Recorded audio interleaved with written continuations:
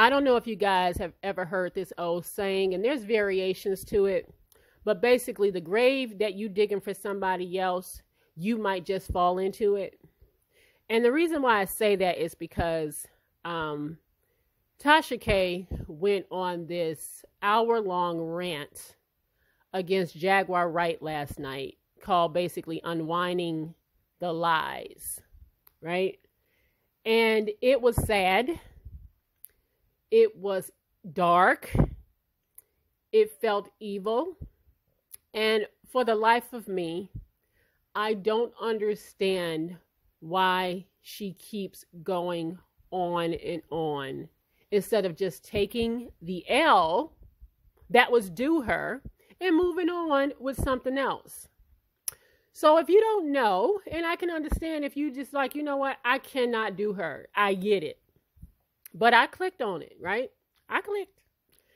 And it was so dark. Basically, Tasha K was upset that her audience, her subbies, her winos were dragging her from her interview with Jaguar Wright on Friday. Dragged her so much, in fact, that she lost several thousand subscribers. Okay, you can just little see the little thing ticking down the last several days.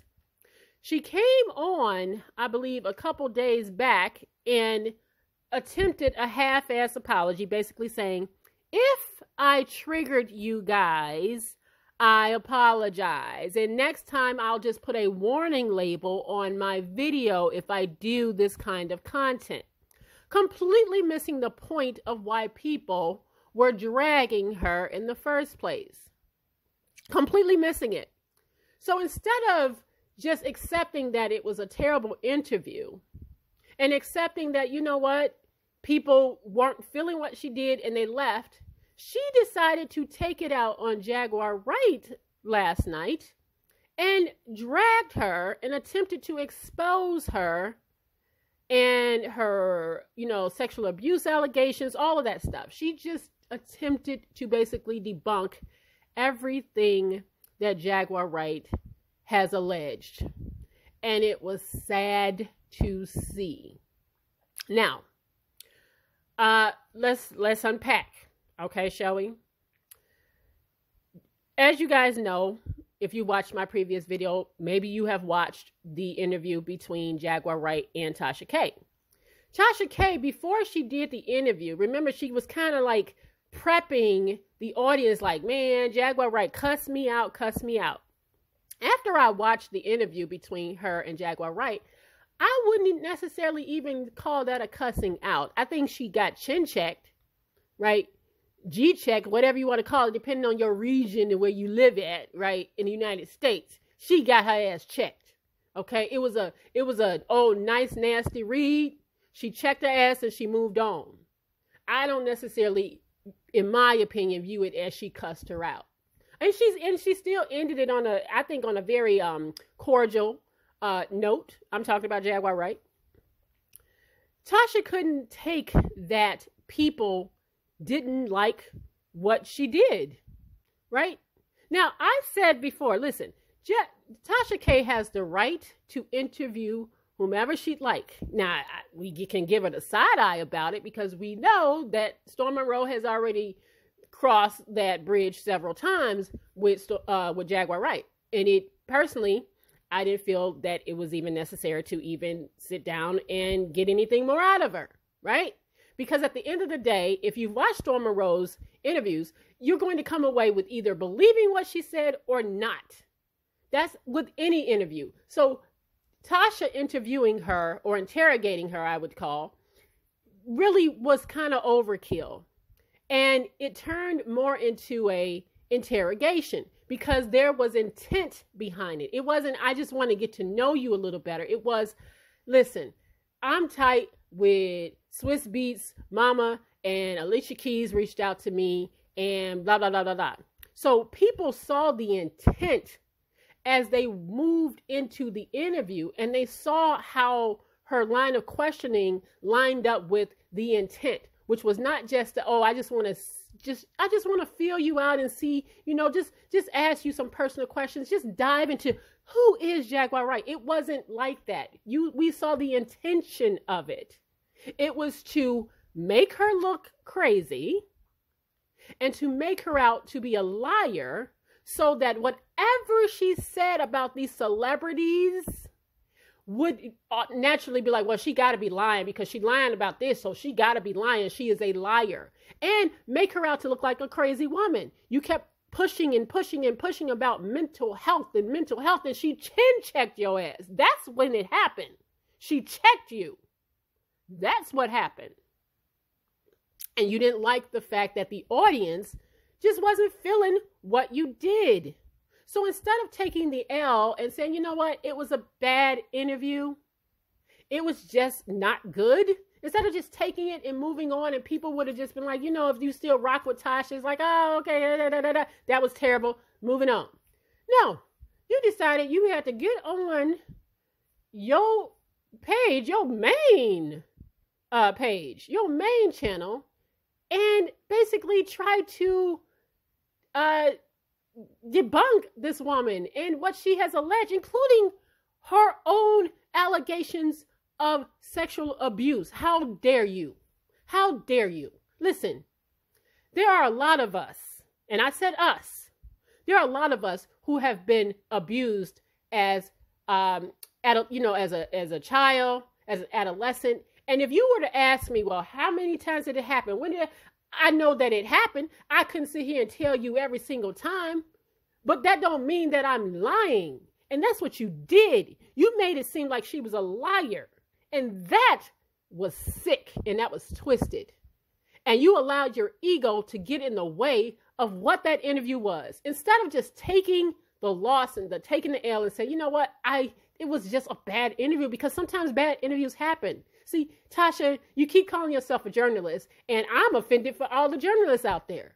Because at the end of the day, sometimes interviews aren't going to go your way. Look what happened with Lesley Stahl on 60 Minutes, and, and, and Donald Trump walked out on her.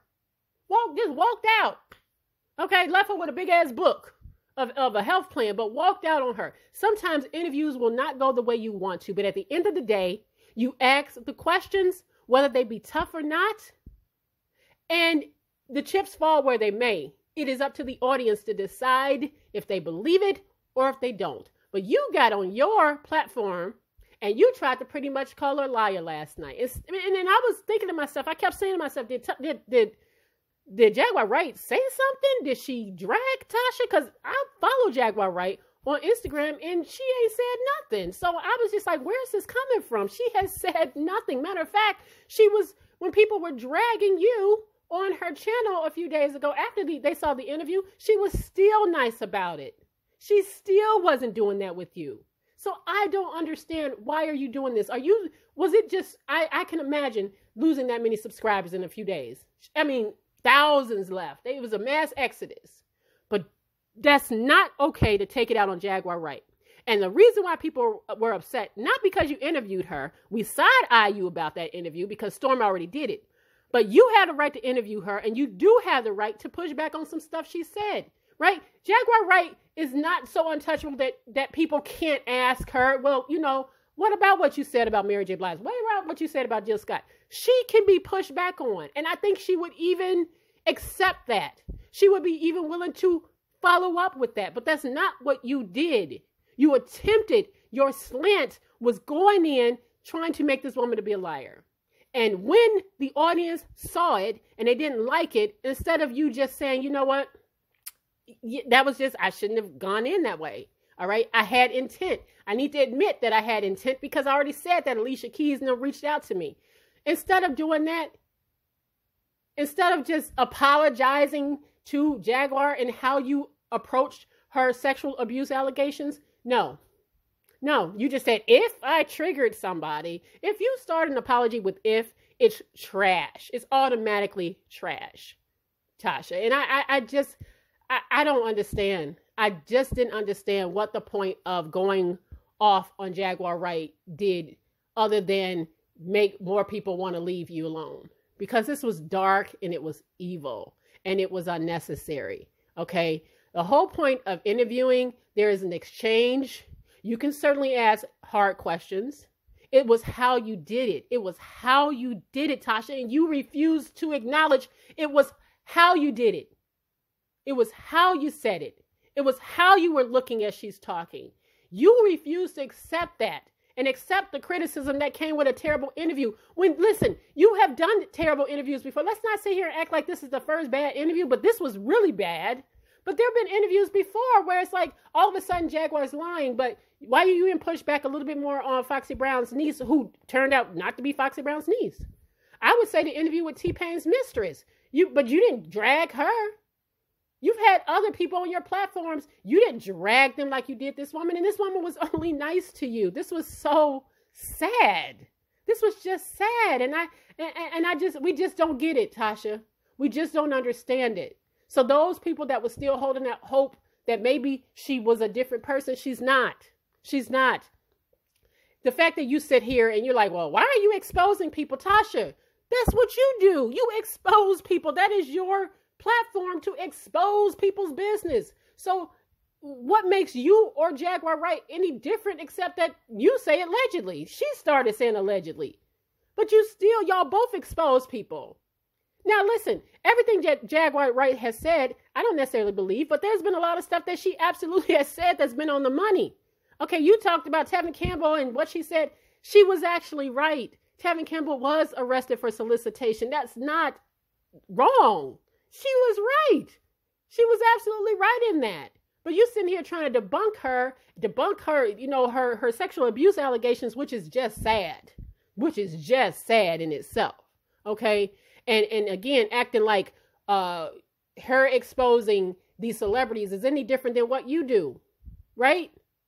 You try to come on here and expose people all the time. Listen, I can't stand Cardi B. Can't stand her ass. But there's been plenty of times where I just thought that you went too far and you didn't have no receipts to back it up and you were debunked. And you admitted that some of the stuff was bullshit. That ain't right. That ain't even right. So what's different? What is different? And and and furthermore, we were just trying to tell you to leave it alone. Those of us that was like commenting said, Tasha, just leave it alone. Storm already did this. He already crossed that path. If there's anything else to get out of um, Jaguar Wright let him say it. Let him ask her questions. But you didn't do that. You decided to micromanage and, and to basically step on his interview. So basically, what you did last night, Tasha, whether you want to admit it or not, is by trying to debunk and call her a liar, you basically just stepped on your well your former mentee's interviews because now you're saying that everything he has had on his platform when it came to his exchange between Jaguar Wright and himself is a lie. It's trash. Why would you do that? Why would you do that? I, I just don't get it and I don't understand it. But you know what?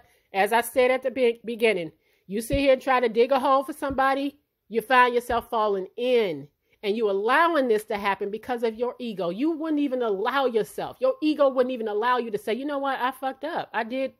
That was a terrible interview. Jaguar Wright, I apologize to you. You know what? I am skeptical about some of the things that you said, but we can have a conversation about that. And if you're willing to come back to me, if you're willing to have a talk about it, let's talk about it. You know, we can have a give and take because I am, I want to ask you about this because I'm just not so sure. I wonder about that.